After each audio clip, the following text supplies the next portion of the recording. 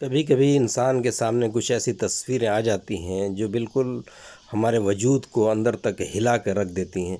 ये सामने जो स्क्रीन पर आप तस्वीर देख रहे हैं, एक नन्हा बच्चा अपने कुत्ते के साथ खुले आसमान में एक दुकान के सामने सोया हुआ है। किसी ने इसकी तस्वीर को उतार ली है। वाक़ यह है कि ये बेचारा बच्चा जो है, वो इसके फादर नहीं है, कहीं जेल में है, माँ छोड़कर चली गई है और पिछले कई सालों से इसी तरह से वो अपना गुजारा किसी चाय की दुकान पर काम करके अपना गुजारा करता है और अपने कुत्ते का, जब वो काम करता रहता है, इसका प्यारा कुत्ता बगल में बैठा रहता है फ्री का लोग कुछ देना भी चाहते हैं तो ये बच्चा लेता नहीं है। ख़ुददारी का इसके ये आलम है कि ख़ुद से मेहनत कर कर अब यूपी की पुलिस, चूँकि मुजफ़्फ़रनगर का ये वाक़ है यूपी के पुलिस ने जब इस खबर को देखा तो इसकी तलाश में लग गई।